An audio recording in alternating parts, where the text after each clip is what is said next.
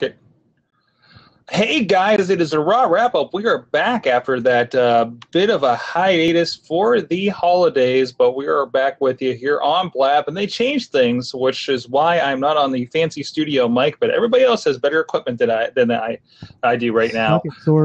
With all your new fancy cameras and everything. If you're joining us on video on the YouTube or the Facebook posting, that, that, it was a gift from Sorg. So it's a gift from Sorgatron Media Incorporated. So uh, so to get you guys on par, get you guys looking good for the new year, and we're ready with a new Monday Night Raw, and mm-hmm. it felt very new to me. I, I don't know about you guys. Um, it, it, felt not well. It felt new, and it felt old as an attitude era a little bit as well. There's a lot of going on, a lot of shenanigans. Of course, really kind of um, around the idea of Roman Reigns and all these issues here. Um, and and and what I'm sure we'll talk about this and so much more. WrestlingMayhemShow.com. Uh, of course, the big show we're having Tuesday back at you live at WrestlingMayhemShow.com about Tuesday night, 9 p.m. Eastern time. Uh, but what what did you guys think? I mean, the, the big story going in this was the Roman Reigns uh, situation. It really felt like the you know the good old days of the Attitude Era and the stacked deck against your Stone Cold Steve Austin's and everything. Um, I don't know what what did you feel as two guys that I know were definitely watching back then as well. Riz, um, it it did oh. seem like a attitude era ish main event, but it didn't feel slow motion. Right. It, it, slow motion. slow motion. Yeah. Okay. Well, well, again, again, Vincent Kennedy McMahon is a seventy-year-old man. Yeah. Yeah, he, coming back from a commercial break too, his pecs jiggling. Yeah, that was too uh, much. It, I, I, I, dropped a tweet out. Say sometimes I like to step back and wonder what it's like uh, to be not a wrestling fan and you're and you're witnessing these things. Maybe you're switching over from I don't know Gotham or whatever's a rerun tonight, right? And that's what you see, mm-hmm. and they wonder I mean, about those ratings. What, what if you were watching Monday Night Football and there was a commercial on? You just happened to switch, and, and I, know, I know they were off today because of week 17 and all that stuff, but what if you just turned on Raw and just saw McMahon pecs right in your face? Mm-hmm. Just jiggling pecs. Well, my friend, my friend Morgan just tweeted the same thing I was thinking right when the end of the the main event happened. It's like, why do I watch this? And then they turned it around on us at the very end, and I'm like, it's not right for Roman. That's why I watch this. It's not right for room. Stuff like that that just happened with the Royal Rumble announcement. Mm-hmm. And that's the big thing, the big announcement tonight. He will be defending the title at the Royal Rumble. The stakes are high as they've ever been, and especially with we had a lot of other setup uh, with our factions of the Wyatts. I, I got to say, the uh, New Age job job squad uh, that we witness is probably going to be a factor of some sort in the Royal Rumble as a group. Uh, I like this idea. It's never been put on the line before.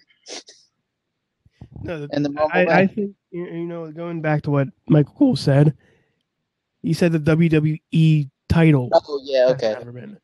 It's WWE. Well, he, I thought he said it. I thought he mentioned it was done once before um, oh, referring to that 92 one with Ric Flair. Now, the difference is it's being put on the line, as in it's being defended. Yeah, before yeah, it was that is true. That is true. Well, Bacon had. So I, yeah, I, well, yeah, Bacon, but Bacon didn't get a chance to defend it. That's true. As, as said, uh, 1992 Royal Rumble. So that that's that's that's a factor too. Um, I hope just Ric Flair comes back and wins it all. Well, since he's he's everywhere in our faces. So somebody said Charlotte was going to win it. Might as well, might as well, right? Uh, but anyways, uh, so there's that. This is the main event, of course. Uh, Roman Reigns. I, I, think it was interesting. They had a lot going on. Shenanigans abound. That's what you expected from that thing. Um, just I, I, I, don't know. Uh, to me, it's it's kind of weird.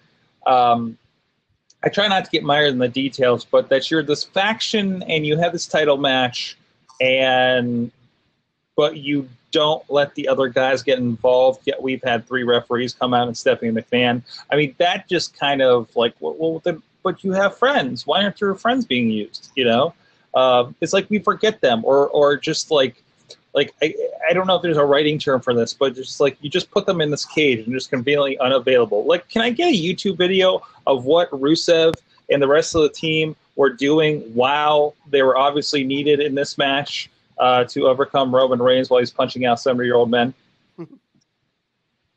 Something like, are they like you know? Like, are they detained? Is there are are they, are they being towed or something like that? you know what, what, kind of what kind of thing could be happening if you have any ideas what could be happening um, then, Well, then please think- let us know I at am show on the twitter if I, I think because you've you have all these new factions coming in and doing the same thing that you want the League of Nations would be doing. Mhm. For instance, you had um, whatever their the social justice. Social outcasts. What was social outcasts Social Heath outcast. Slater. If you, if you guys have, in case you guys are watching this to recap, because you haven't watched the show, so we've got to keep in mind, guys. Some people, may, no, not spoilers. Like maybe it's easier to catch 15 minutes of this show than three hours of Raw, because some people have lives but still kind of want wrestling. Mhm. Um, Heath Slater, Curtis Axel, Adam Rose, and whatever rendition he is right now, and Bo Dallas come out, and and the most nonsensical group thing. It's like a Legion of Doom promo gone horribly, horribly wrong, and uh, and And they're the social It made the outcast. most sense of all. Yeah, it's just like you guys do a thing over here. Maybe it'll work, and that's where like a lot of times the best tag teams kind of come from. New Day came. Hype Bros, New Day. New Day, exactly. so Uh, why not? Let's do something. Head cheese. Head cheese, exactly. So there's that. We have social outcasts, I guess. We have this faction. We have the Wyatts, I think, doing a very good job of the Wyatts becoming a threat over the last uh, few weeks. This And is you know why. I'm I'm I'm I'm throwing my chips in. I Bray Wyatt is probably one of my picks to win the Rumble. It's possible. I I love I- the four horsemen thing. they're unless Brock Lesnar comes back, and that's a that's a high possibility. Well, Brock Lesnar's coming back next week. Don't you think that could maybe set up for a Royal Rumble push? I can The see that. I can see. Rock? I can see him being at least number two. I don't think The Rock is there for Rumble. Rock is just going to show for Mania. Didn't you say his statue is at the end there? It, it looked like it looked like The Rock, but it I don't think it was. Okay. We just mentioned that. We need a step-by-step uh, Force Awakens style analysis of the Royal Rumble promo, identifying everybody in the statues. Well, you you Um, already you already outed me as a uh, spray tan enthusiast. So- Uh, yeah, that's true. Thank you for reminding me of a new segment on the show. Riz's spray tan uh, uh, report of the night. Tell me, who had the bad spray tan? How could he have uh, perfected that a little bit, Riz? Well, Dolph Ziggler had like. I, I- let me see if I can move my camera here without make, ma- making it move. The other way, Uh, it's mirrored. What? Oh, oh, okay. So we got your we got your arm. See my arm Yeah, see your arm. on the top of the arm. That's where the that's where the tan goes. That's where no the tan should go all the way around so it looks natural. I don't know. What's Right, right. Looks like you evenly did it. You know. But it looked like the tan, like the spray tan, Keep this in mind. on top of the arm. Keep this in mind.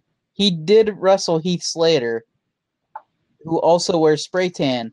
So they might have been practicing backstage and might have rubbed off on him a little bit. Well, that sounded dirty. That's, That that's, sounded really bad. that was alluding to some weird stuff that might be happening back backstage. But uh, okay. Hey, Dolph Ziggler was on Tinder, which WWE mentioned it as Twitter before the thing. He was swiping left and right, vigorous Standards and practices, man. Standards and practices. swiping. All right. left. That, And Chris just, Jericho used the term "trap queen" tonight.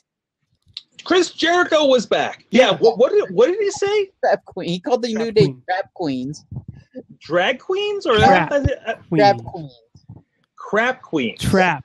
Trap. Trap queens. Akbar. Listen, All right. Whap. Bobby, this is the part where Bobby educates me on what a trap queen is. Um, do you really want to know? I, I, I think we should educate. It was it was just exposed the Um, entire pro wrestling audience. Yeah, Riz? don't take it. Google it. Sorg. No, Don't Google it.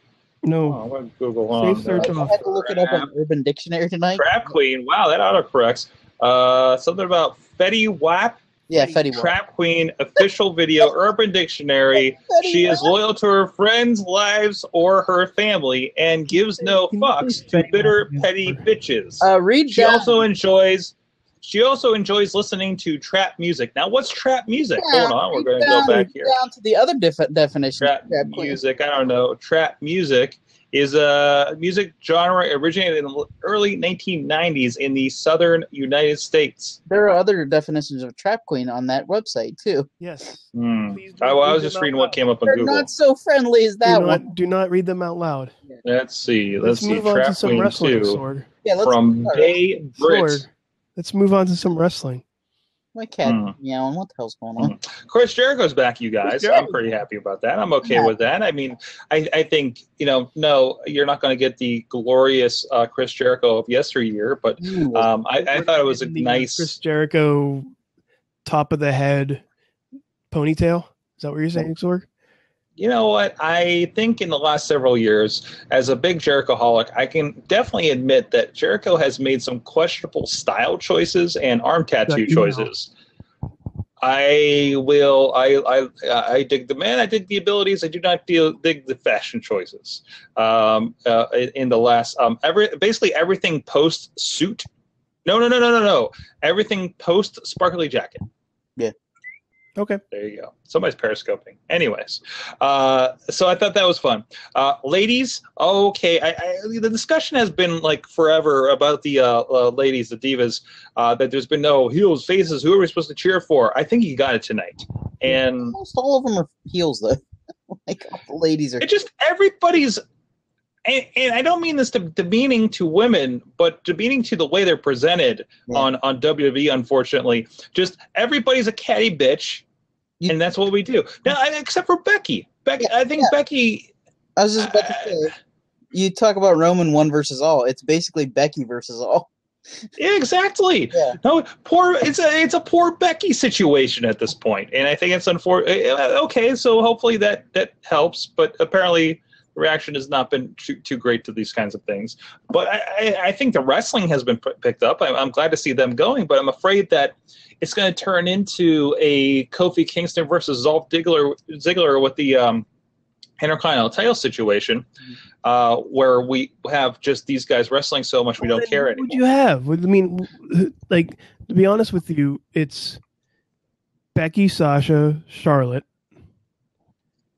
Naomi, and I think Bella. Sasha. I think like Sasha is also being kept in that room that Rusev and uh, and Del Rio were, um, just around the entire Divas division. Of like she's just busy in the back while we're just having a division, um, because everybody obviously wants her. Yet we're not getting her. I I, I don't Why do you understand. I don't understand what's happening. I don't. I understand. I, somebody's putting Sasha in the corner, and I don't like it. Okay.